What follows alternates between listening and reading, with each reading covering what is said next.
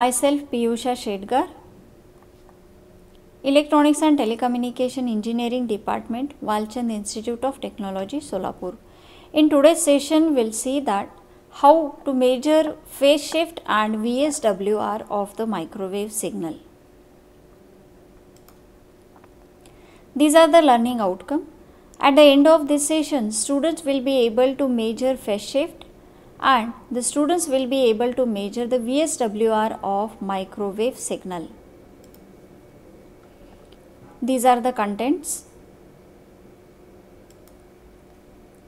Now before going to start today's session, we can pause video here for a second and recall that what is the range of frequency for microwave signal.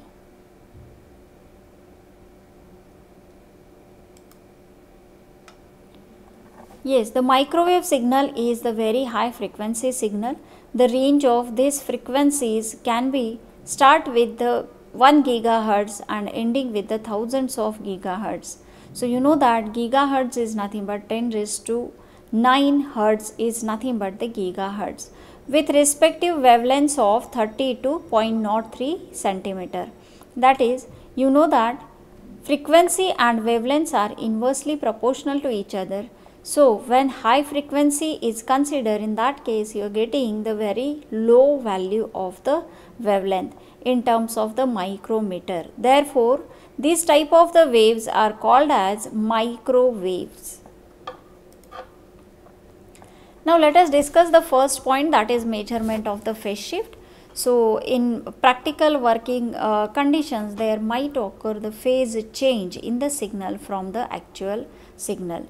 So, while performing the practical, there may be the possibility of the phase shifting due to the minimum and maximum value calculation and uh, the impedance will be considered. To measure such a sh phase shift, we can use a comparison technique by which we can calibrate the phase shift. Now, this is the setup for measurement of the phase shift. So here the microwave source is connected. After that it is given to the H plane T. H plane T is the uh, three plane uh, three port device three port uh, which having the one port is given to the microwave source other port is given to the attenuator. And the second port third port is also connected to the attenuator. But here from the attenuator the port 2 is connected to the block which having the network whose phase shift is to be measured and in the second block calibrated precision phase shifter is used. Now the H plane T can be used to uh, reconnect the signal by adding the two port signal or it is also used to split the signal. So by using this property of the H plane T we can connect the output of this network whose phase shift is to be measured and the calibrated precision phase shifter output. These two are added here and at the output of H plane T you are getting whatever is the signal output signal is in phase and it is given to the slotted line section of the microwave bench. After the slotted line section, one of the port is terminated by using the matched termination and the other port is given to the output uh, and that output can be observed on CRO by using crystal detector. So this is the microwave source generate the signal which can be passed towards the H plane T junction and the demodulated output is a 1 kHz sine wave which can be observed on CRO. This phase shifter is adjusted such that its output of 1 kHz sine wave also matches with the above signal and after the matching is done by observing in the dual mode CRO this phase shifter gives us the reading of phase shift. So, if the previous wave and the uh, current wave, uh, if you are comparing these two waves, there may be some phase shift will be observed and this can be measured. So, the, due to the first path, you can observe these two sine waves are there. So, due to the first path, you are getting this uh, sinusoidal waveform and due to the second path, this sinusoidal waveform will be observed. So if you observe that this wave is previously started and some uh, after some time the second wave will start due to the second path. So here there will be observed the phase shift between these two waves which is denoted with the phi. Phi is nothing but the phase shift. This wave can be observed on CRO.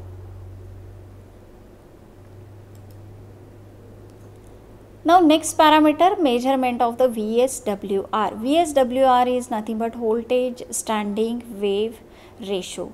So voltage standing wave ratio, what is the standing wave ratio?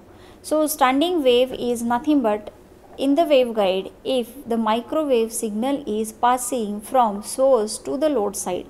At the load side if the impedance does not match that is when characteristics impedance is not matches with the load impedance. In that case the wave will be uh, generates the pattern like a standing pattern of the wave will be observed in waveguide. That is it just uh, remains there only uh, it just uh, travels back and forth inside the walls of the waveguide and forms the uh, standing pattern of the wave. This is called as a standing wave. So, if you are taking the ratio of maximum value of the voltage to the minimum value of the voltage, we can find out the voltage standing wave ratio.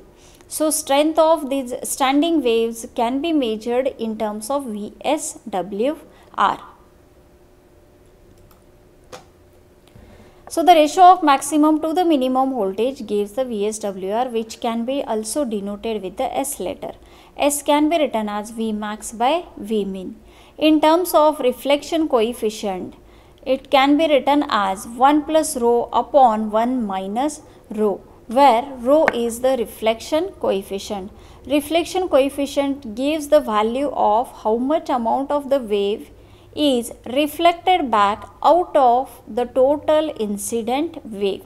It can be denoted with the letter rho. This is nothing but the reflection coefficient. So, in terms of reflection coefficient, we can get the equation for standing wave ratio is 1 plus rho upon 1 minus rho. So, again the VSWR can be done in two ways. Uh, for the value of VSWR which is less for that the measurement is different and for the VSWR value is high for that the measurement is different. So let us consider first the S having the uh, value is less than 10 that is how to measure the low VSWR. So this can be done by just adjusting the attenuator to get a reading on a DC millivolt meter which can be considered as the VSWR meter. Now the reading can be taken by adjusting the slotted line section and the attenuator in such a way that the DC millivolt meter shows the full scale reading as well as the minimum reading. So by adjusting just the slotted line section you can get these two values and these two readings are calculated to find out the VSWR of the network. So by adjusting this slotted line you are getting the two positions on the scale such that you can observe the maximum value of the wave as well as the minimum value of the wave on CRO. Now you can take the ratio of V max value that is maximum value of the voltage to the minimum value of the voltage to calculate the voltage standing wave ratio that is VSWR can be find out Vmax by Vmin. Now let us consider the measurement of the high VSWR value that is when S is considered greater than 10 value.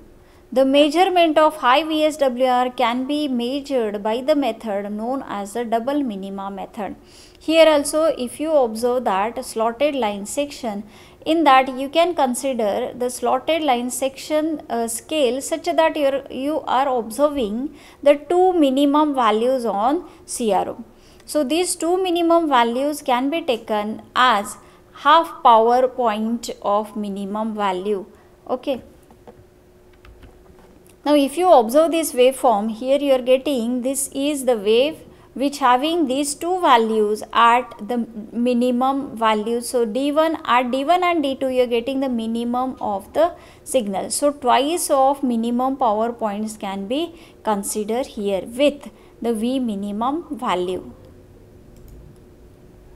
Now this VSWR can be calculated by getting the relation such as VSWR is lambda g by pi d2 minus d1. d2 is the first minima, uh, d2 is the distance where the first minima is observed, d1 is one of the distance where the second minima will observed. Lambda g is the guide wavelength. Lambda g is the guided wavelength which can be calculated by lambda 0 upon under root 1 minus lambda 0 by lambda c bracket square where lambda 0 is the free space wavelength which can be calculated by C by F. As the two minimum points are being considered here, this is called as a double minimum method. Now let us uh, learn about the measurement of the impedance in the next session. So, uh, lambda g is calculated here by using this formula where lambda c is calculated by twice of a where a is the wider dimension of the waveguide and it is fixed it having the fixed value equal to 22.8 mm. So, by putting these values all values you can easily find out the lambda g and lambda g value can be put in this equation to find out the VSWR. Thus, the VSWR can be measured. These are the references used for today's session. Thank you.